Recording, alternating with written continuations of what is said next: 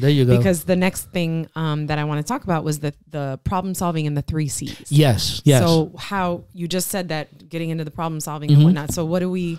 So life is complicated, right? Right. And there's things that are thrown at you and situations that are thrown at you that you have to be able to adjust. And you have to be able to adapt. You- I mean, that's that's just part of life. Mhm. You know, you have to innovate or die. Right. That's the thing. So you set your goal. You under, you understand your why. You assert you, you understand your goal and you set your action plan. You have to understand that there will be problems along the way, and challenges on the way. First, you try, you're going to try to predict what some of those issues might be. Mhm. That's Right. what you do in strategic planning. That's what you do. What are some of those issues that might that it might be? For instance, let's say you're that young person that moves out by August, right? And you say, okay, I have, I, I was able to save. My expenses are a thousand dollars a month. I, I was able to save six thousand dollars for just my to cover my expenses for six months, right? So I have six months to find a job that gives me a thousand dollars a month. Mhm. But you in month number three and you haven't found that job Mm. what are your options that's a challenge that you need to figure out how to do it right you need to have to you have to figure out how to manage that right one of the issues that that that for instance one of the challenges that you confronted right is that you started in in one area human services Mm. actually business and human services then public administration and then when you went into public administration you realize oh my god there's a lot of gaps in leadership when it comes to public public administration right Mhm. so then what did you do I looked for a, a d- a degree that would give me a strategic leadership aspect. exactly That's what I wanted. So when you set the map, right, mm-hmm. and you set the roadmap, you, and you saw the challenge, it's like, oh, this is a challenge, but here's an opportunity for me to learn that, and then be able to go back to the public service d- degree and be able to apply these leadership skills to this particular thing. Mhm. So it, you know, as you begin to develop, then you start seeing all the little branches of stuff, right? It's the same thing with with here. You know, we started. You know, our, our son Jacob started producing, and and and and then editing everything, and it was a lot of time. You know, for from him to be able to do that. So you started researching and you start looking into OBS and you start looking into all these things because you have to figure out a way to make things more streamlined Right. and make it more efficient. Right. You well, know, if not, this this could consume an individual. it could consume so- it could consume a lot of your and we have times. Other things going on. Another. So then, what do you mean by like the three C's? What is that? yes. Then So comes, one- this is a, applicable to problem solving. Yes, this Cs? is this is this is um Ken who was our our, our, scoutmaster. He used to call it the three C's. You know, uh, and this is just back in the early '90s that he taught us this. Um, people right now call it the con- um uh, the constant improvement cycle. Mhm. Right? Is that so? You check. So you have your plan, Mhm. right? You adjust it for any challenges.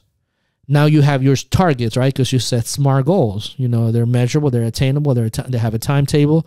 So let's say three months come in, right? And your goal was to maintain and sustain for let's say that young person maintain and sustain uh, a thousand dollars a uh, uh, live, you know living by by, getting a job. by, by myself by getting a job and doing that. Mhm. If three months come in and I haven't accomplished that, then you have to check. I mean, you three months come in because as you you have to measure it in three months. One, am I making a thousand dollars each month?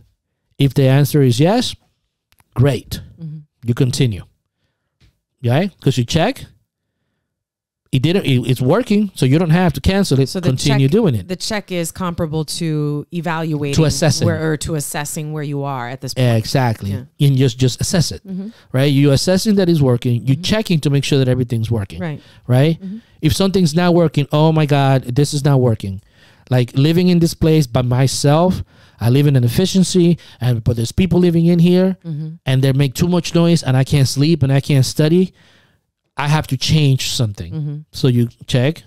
I gotta cancel that, and I gotta come up with another plan, Right. and then continue. So then you go back to the drawing board. yes, and then now you have to find another place to live.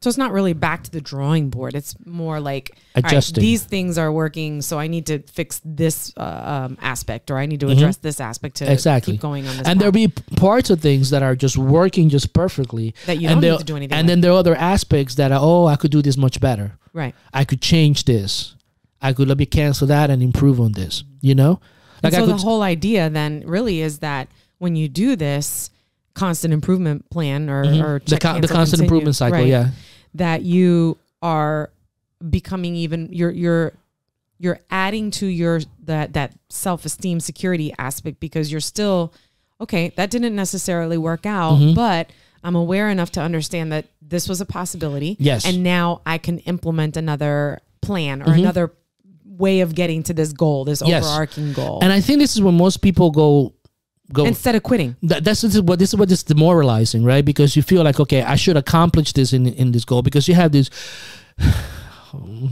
You have you have like you- like let's say for instance when you buy when you buy like a diet program or something like that the expectation is said oh my god I lost 45 pounds in 3 months.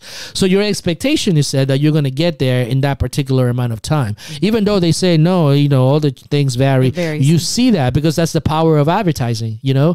That's the power of things. You know by the time you're 25 you should be here here here here here. If you're not here here here here here you're done. But again it's like everybody's different. Everybody's quest is completely different It's like even thinking about like, for example, um, I know an individual who was unfortunately, um, you know, he separated from his position, and you know, had he not had that presence of mind to say, "I'm in this really great position right now. Uh-huh. Let me get myself out of debt. Let me take care of this. Let me Uh-huh. let me get." He had an action plan. He paid off some debts. He did this. He did. He did all these different. He did the goal setting. He did all of that stuff. mm-hmm. Then he was separated from his position. Mhm. Then he was like, oh shit. Okay. But I did this, this, this, and this, and this. So I don't really need a job that pays me this much money. I could really live off of this Mm-hmm. just in case I don't find a job that pays me this much and money. i could do other things and I can do exactly. Yeah. Now this person is actually um, working not a mediocre job, a job that he likes, Mhm. but he's also now doing um, some sort of art or whatever and pursuing other passions that with this other job Well, he wasn't he able wasn't to do able to do, So- which I thought was really, Mhm. you know, it's like it's eye opening. It's just like, oh wow, that's because you start discovering again going back to the basic needs Yeah. right going back to the basic needs as to what do i really need in my life And he said that I wasn't really doing things that I wanted to do. I was just living for this job yes and not doing all these other things that I enjoy. Now, again, uh, and I said this before, right? Because we have, I mean, right now the big the big thing in the news is the the great exodus from the working the working world, right? So, if people are finding other ways and means to have their basic needs basic needs met, instead of going to a place that is demoralizing and enslaving and and not asserting of the self like why do you think that happens? It's like so when you start looking at an or- at a society and then you start eva- evaluating okay what really is important? Is the the economy the important thing or is it the well-being of its individuals? Yeah. i thought society was meant for the individuals not so when you start looking at those things then you start understanding like and people may not be able to articulate it but the idea is that it's like they want to live a life that is more fulfilling. Right.